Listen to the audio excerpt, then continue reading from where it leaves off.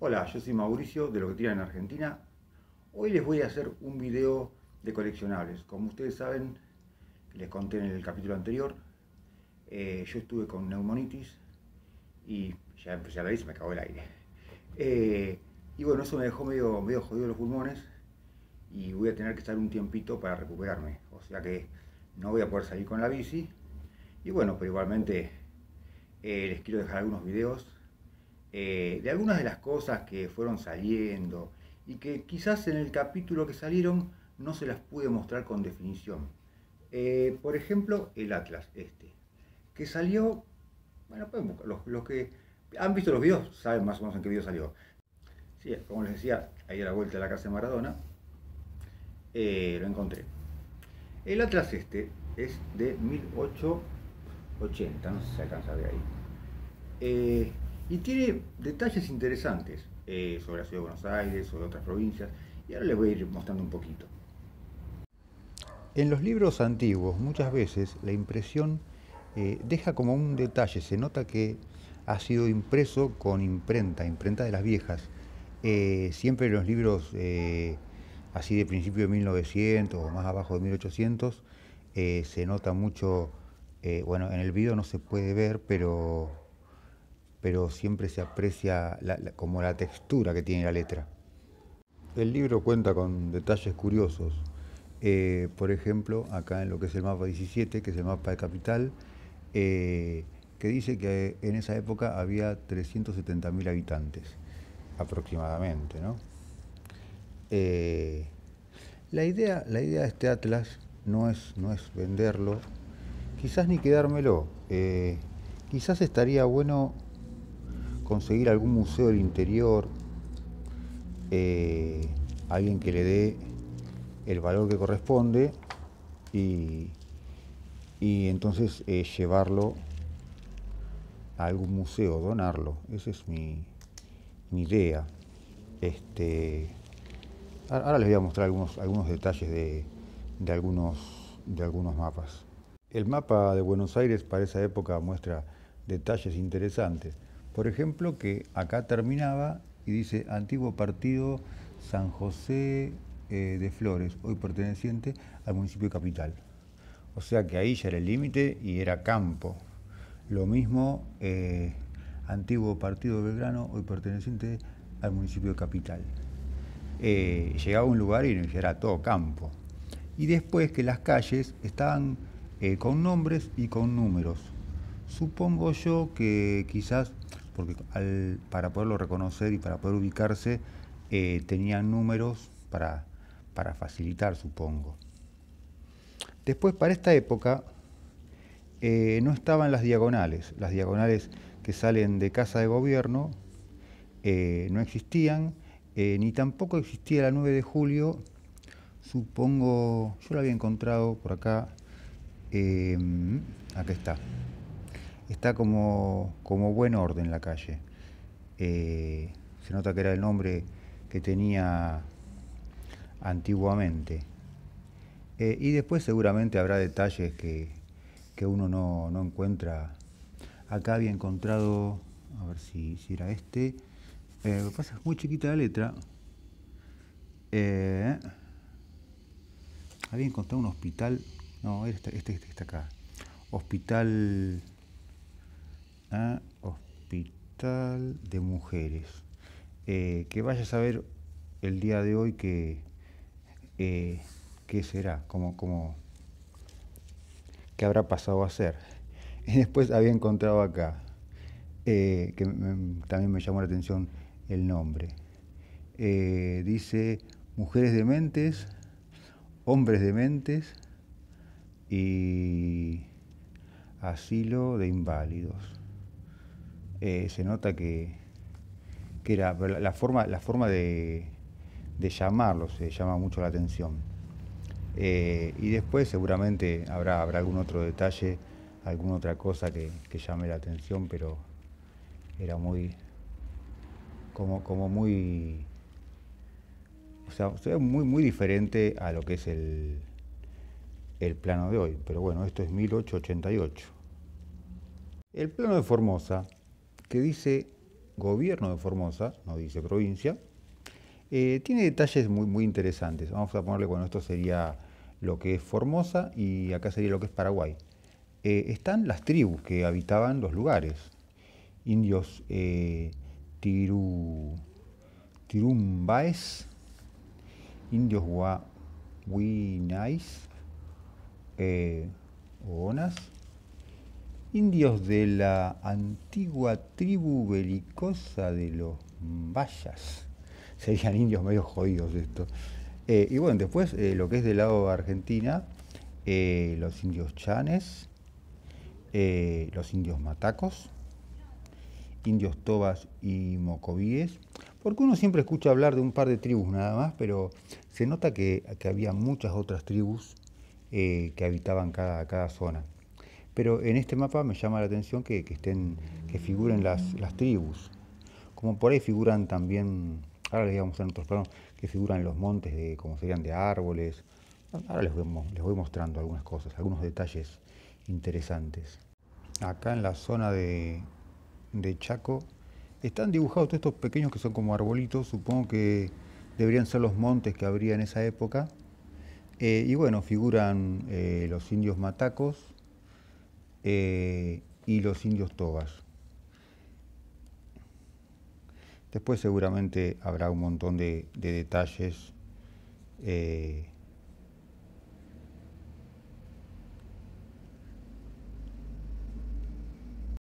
acá en Chubut me llamó la atención eh, tierra inexplorada.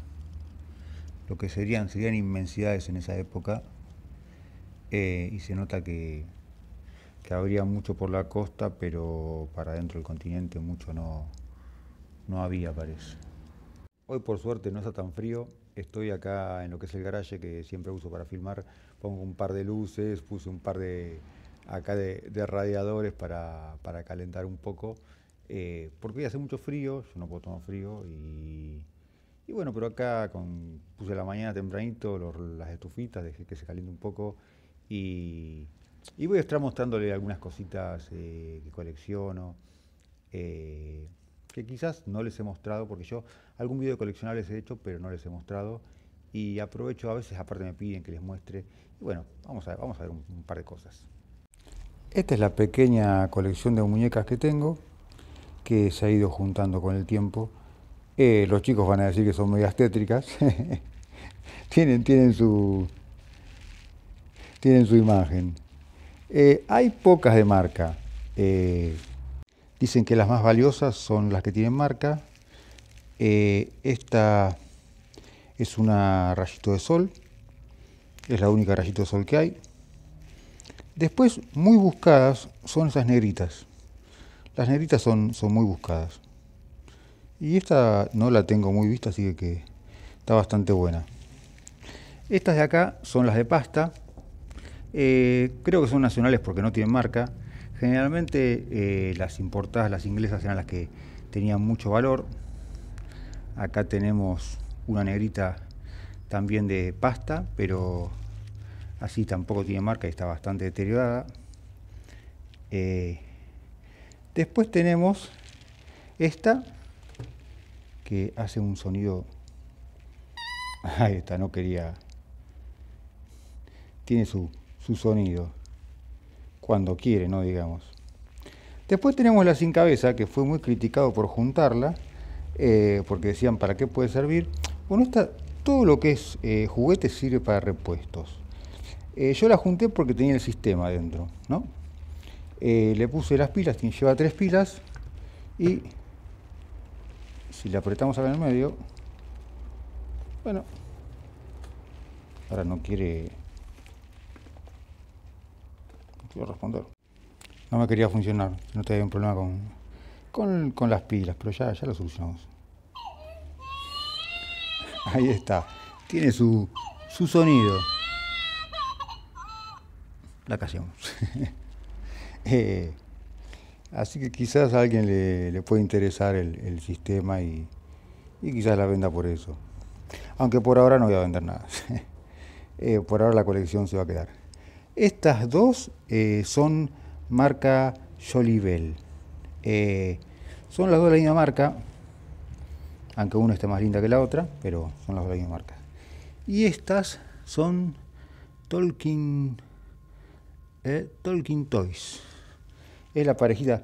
Estas llevan cuatro pilas de estas cada una. Así que ahora le voy a poner a una cuatro pilas, a ver, pero como son las dos en pareja, si hacen algo lo hacen en pareja. Ahí ya le conseguí pilas a las Tolkien Toys. Eh, ahora les voy a mostrar eh, lo que dicen. Va. le conseguí pilas para esta sola porque llevan cuatro pilas cada una. Eh, quizás... Cantamos al ánimo. ¿Sabes allá en la fuente? Quizás estando las dos con pilas interactúen, la verdad que no sé cómo, cómo era, porque tienen como un cuadradito acá que no sé qué es lo que, si alguien sabe me lo deja en los comentarios. Eh, Cantamos al ánimo. Es, igual son, son simpáticas. ¿Sabes allá en la fuente? Eh, Tolkien Toys. Bueno, ah, me faltan los, los muñecos. Ahora les muestro un par de muñecos que tengo. Así más, más raritos. Este payaso que es bastante raro con una cara, parece el guasón más o menos, está, está, bastante, bastante extraño. Eh, y un topollillo que ahora le voy a mostrar. Un topollillo que no era de buena calidad, porque es estos que eran como, como rellenos con trocopol. Las orejitas del topollillo han perdido parte, pero bueno, es un topollillo. Eh, son difíciles de conseguir, son bastante valiosos. Bueno, les quería mostrar eh, la caldera, que, la calderita, que en otro momento se las había mostrado, es un pequeño motor a vapor.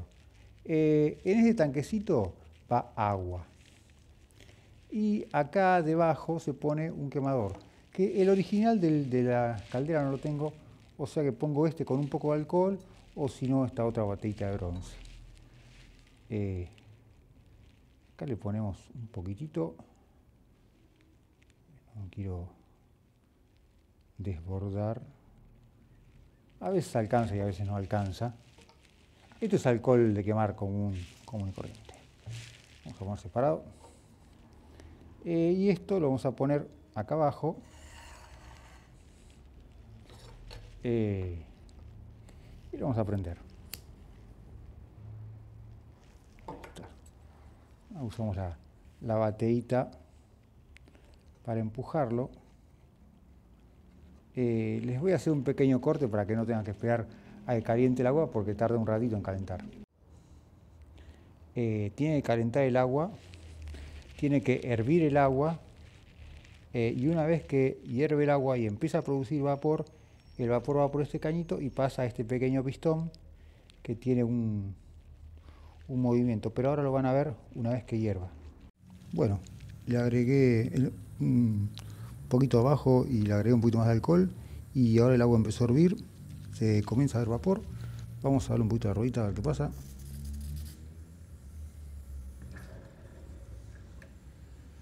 Todavía le falta, le falta presión todavía. A ver si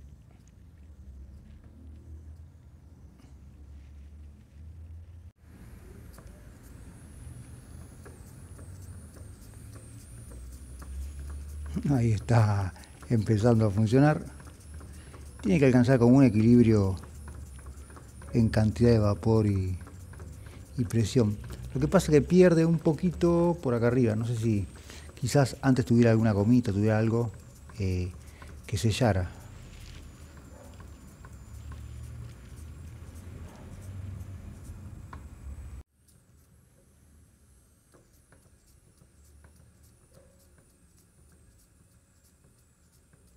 Volvemos a recargar alcohol.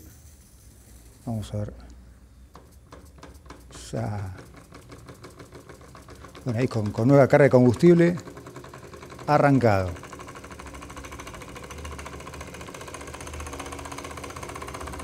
Arrancado en velocidad.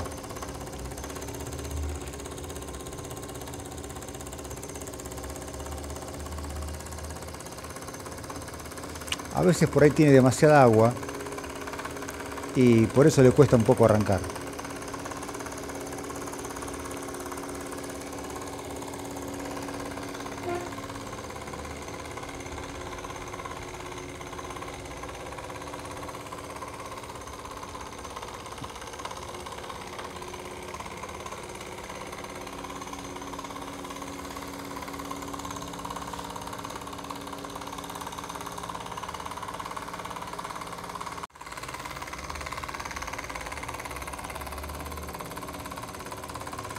Como pueden ver, una vez que arranca se queda un buen rato.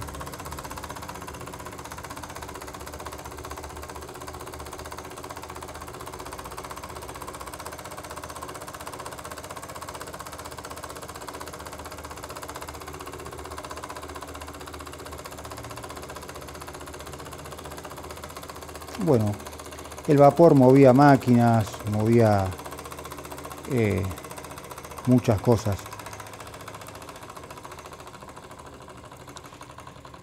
Se apagó, se acabó el combustible. Acá atrás mío tengo mi pequeña colección de autos. Eh, algunos míos, otros de mi hijo que ya no juega más, y los voy heredando yo, digamos. Eh, todavía me falta una, una gran cantidad que están guardados y que cuando pueda ordenar la parte del galpón donde tengo los estantes, eh, ahí voy a, completar con otros más. Ahora más o menos le voy a mostrar y le voy a contar un poco historia de, algunos. Estos se llaman San Mauricio. Cuando yo era chico tenía de estos, eh, tendría uno. Eh, y bueno, lo conseguí, este lo conseguí en una feria de manteros, me lo pagué muy barato y después otra vez en Parque Centenario conseguí este. Lo pagué un poquitito más, pero tampoco mucho. Eh, y bueno, son como, como recuerdos de cuando era chico. Este Renault se salió en uno de los capítulos. Eh, si quieren déjenmelo en los comentarios en qué capítulo salió. Está bastante bueno, pasó a formar parte de la colección. Este salió en Capital hace mucho, mucho antes de que hiciera los videos. Eh, cuando había salido este Citroën, me había salido un Volkswagen, que bueno, después lo, vendí, eh, lamentablemente, porque bueno, algunas cosas a, través del tiempo por ahí iba vendiendo. Eh, esta salió, no recuerdo, porque está, hay que buscar unas ruedas para adelante. Estas las había comprado eh, cuando habían salido hace muchos años una, promoción de Shell que cargaba combustible y, y, pagando no me acuerdo cuánto, los, los, comprabas, estaban buenos. Lo único que después los agarró mis hijos, mi hijo para jugar y bueno, quedaron estos dos, creo que había más, en la colección había más, eh, pero bueno, sobrevivieron estos dos. Este fue encontrado en Capital, este fue encontrado en Capital. Todos esos que están ahí son todos de mi hijo, eh, salvo alguno de estos que creo que es mío, no me acuerdo, creo que este lo había encontrado en Capital. Eh, y después, bueno, pues todos el resto son todos de mi hijo. Estos se los habían traído de regalo, no me acuerdo bien de qué lugar, pero los pueden ver por el tamaño que, que, son.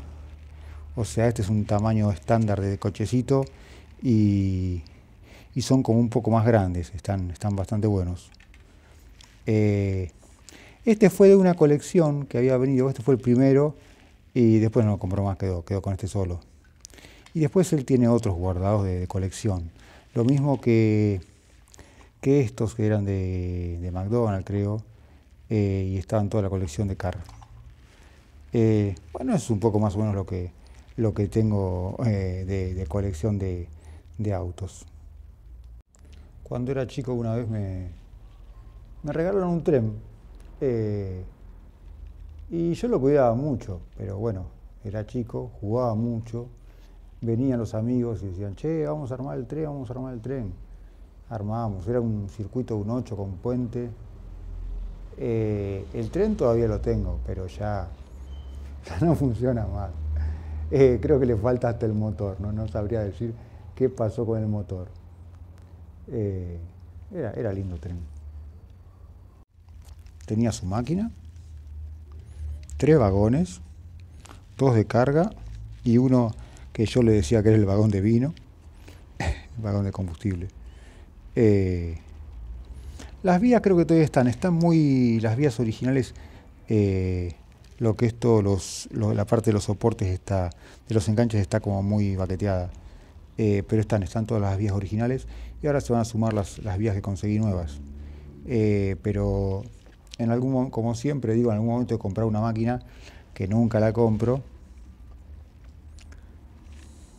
Dicen que hay gente que repara, pero bueno, todavía no, no encontré a nadie como de confianza como para confiarle mi máquina. Esta moto la encontré en Capital.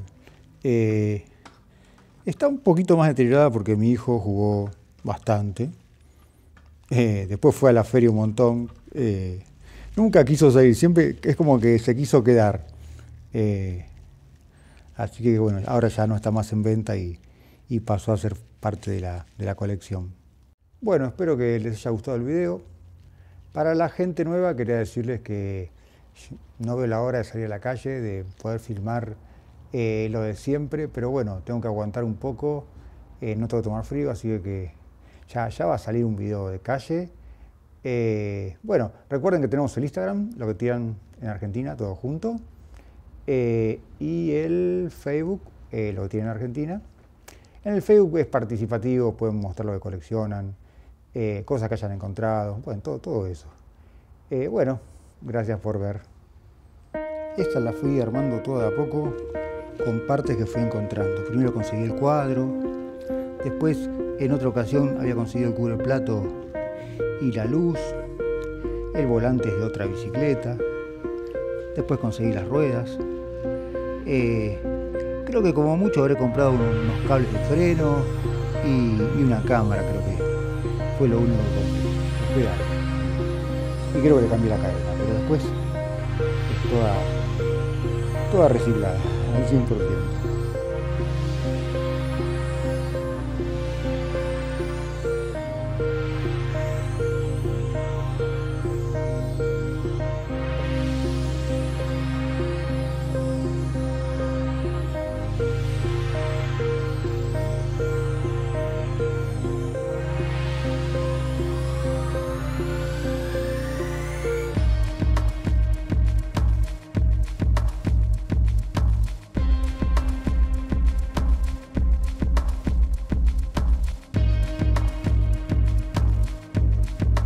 Esta es la estación de San Justo, tiene más de 100 años, yo calculo de unos 130 más o menos, que buscarla. Cuando era chico veníamos, veníamos en tren, eh, yo vivía en la próxima estación que es Brian, señor Brian, que está un poquito antes de Aedo. Es una estación chiquita eh, y bueno, una aventura venirse en tren o hasta Edo o hasta acá San Justo. Generalmente no llegamos muy lejos, veníamos hasta acá, hasta San Justo, eh, como muchas escaladas, pero más, que todo era acá San Justo. Acá tenemos el cartelito que mantiene. Antes tenía más arboleda la estación, ahora tiene mucho menos porque los árboles se fueron secando. Antes eh, todo, todo